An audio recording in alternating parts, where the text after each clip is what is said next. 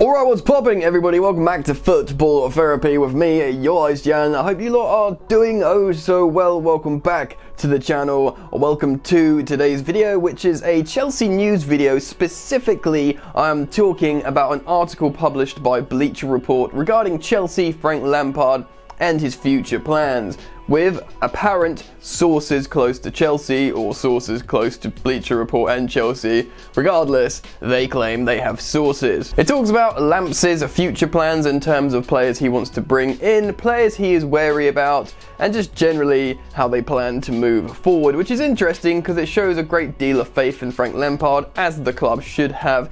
Generally, Chelsea have been massively overachieving this season. It's just taken funny turns at times when they've made silly mistakes. Still, it's interesting. Before we get into it, a quick reminder to you guys to please subscribe to Football Therapy. If you are indeed new to the channel, please sub, hit that bell notifications icon. Remember, that is important. Why not like the video to help me out? Follow me on Instagram to hang out with me on Instagram Lives and ask me questions and talk about football. Alright, let's get into it. So, the winter break brings loads of fun, and there's loads of intense drama to follow this winter break this season. Of course, epic matchups between Tottenham and Manchester Manchester United coming next in the Premier League, which are both in their own right six pointers. Huge, huge, massive games against two clubs that have both you know, really, really strengthened in the January window in terms of bringing in excellent players like Bruno Fernandes and Steven Bergwijn. Amazing players. So that's huge. And there's just the small matter of Bayern Munich, Robert Lewandowski, Serge Gnabry, all those guys coming to Stamford Bridge. Lots hangs in the balance this season, but the truth is, Chelsea is still in a transitional season, whichever way you look at it. I mean, they haven't made any signings. There is that massive looming shadow of Eden Hazard, and that will probably last for maybe even another season, considering how long he carried Chelsea. Obviously, a new young coach in Frank Lampard who has some big ideas big plans and is yet to impose them onto Chelsea. So understandably, they're already trying to be smart and make plans for next season, starting with transfer business in the summer. Now, there is this article on Bleacher Report regarding Chelsea. If you want to check it out, just Google Bleacher Report Chelsea, and it's one of them, I think it was published yesterday go and have a read, but I'm going to just consolidate some general themes, talk about it with you guys. So Lampard does want to bring people in, and apparently sources close to Bleacher Report were told that he's looking for character and personality, those two key attributes of the players he brings in. Not necessarily just numbers, goals and assists, he's looking for the mentality. Now that is obviously a superb thing off the bat. Frank Lampard was part of that sort of never die Chelsea team, you know, super headstrong, and that's what saw them over the line in many, many games, competitions, title charges. He probably looks at this Chelsea side that he's got, appreciates the young talent, but probably sees it is sorely lacking some of that mental steel. It doesn't have to be experience and age, just a sort of attribute of uh, character like this article is saying, so I respect that already and that's a positive move in the right direction. But he wants to be careful not to squish the hopes of all these young academy products that he's been nurturing that do have a great deal of talent. The article says, so much has gone into integrating academy products within the setup that they can't risk players like Tammy Abraham, Mason Mount, Callum Hudson-Odoi becoming disillusioned by the impact of new additions. Yes, he sees weaknesses in the squad, but it is a balancing act now to bring in the right right talent, with the right headstrong attitudes, yet continuing to nurture this young, superb talent. So this is interesting. People were assuming Lampard doesn't have control of signings because he absolutely did want to bring in a signing this January and he was basically robbed of that opportunity. In many ways, he was left frustrated, visible, visibly frustrated. Bleacher Report go on to say Lampard does not have full control of signings,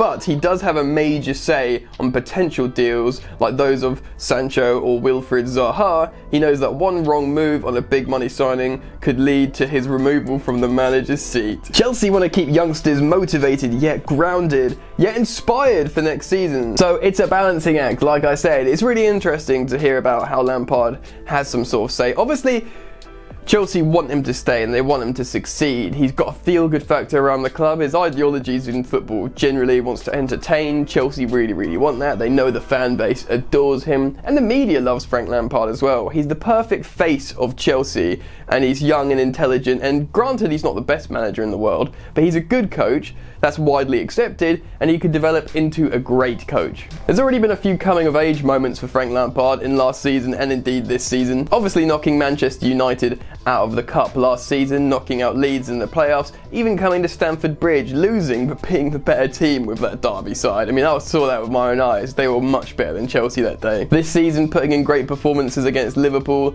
uh, City, beating Ajax away, having good results in the Champions League, beating both Arsenal and Tottenham away. Tottenham away in what was seemingly a sort of tactical masterclass at the time, or it was being hailed for in the media. But coming of age moments won't be enough moving forward. There needs to be consistency in this team, and consistency at the moment looks like it can be developed via strengthening in certain weak areas throughout the team. So, Bleacher Report then start to talk about transfers, starting with a defence. There are two issues to deal with here for Lampard, who wants a first choice left back and ideally a new top level central defender. Now, it talks about Kalidou Koulibaly as a central defender. I'm not sure where I sit on that. Fair enough, they might want to invest big, but Koulibaly will be 30 then? For the amount of money he'll cost, that is not a sound investment. And Chelsea as a club, what were they going to give him a 12 month contract because he's over 30? doesn't really make sense to me. But Ben Chilwell, fair enough. He's hot and cold at the moment, but I see he's got potential. But I, like many of you guys, do see the value in Alex Telles, Grimaldo, hell, different left backs around Europe as well. I mean, obviously, I do eventually see Ian Maatsen coming through and pushing for a second spot behind the first choice left back.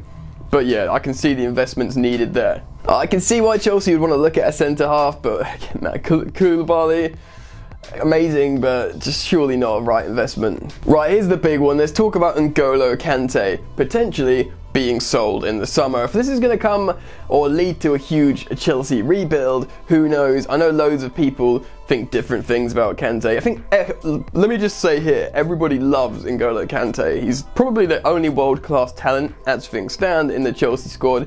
He's probably like the sweetest man alive. Everyone loves him that's not up for debate. What is up for debate is I think he's going to be like 29 soon, going on 30. Um, he's won Premier Leagues, he's won a lot of stuff. He started to maybe lose his touch a little bit. I'm not saying it won't come back, I've just seen him recently concede possession, doesn't quite reach the tackles that he used to, and he's endured serious injuries of late for the first time in his career. Now, he's obviously on 290k a week as well, which is like by far the most amount at Chelsea, understandably.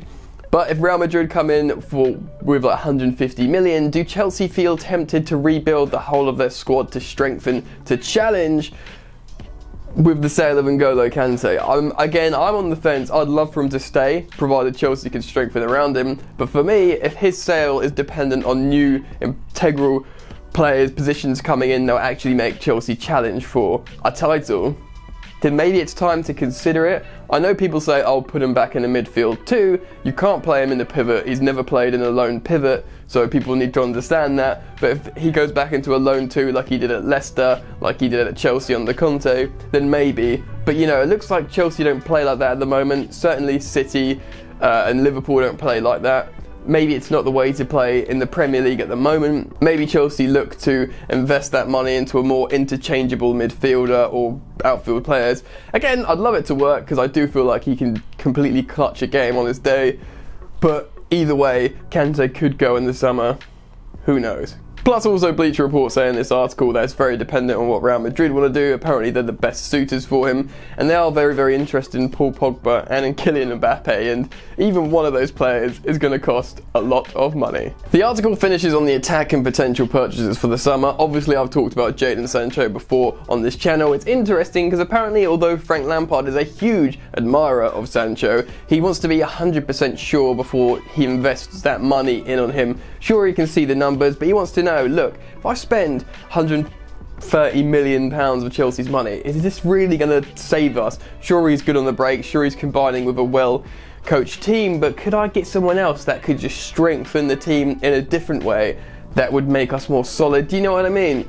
He needs to be sure.